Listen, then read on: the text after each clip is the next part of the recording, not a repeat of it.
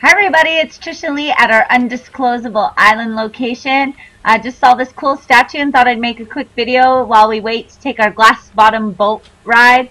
Click the links below.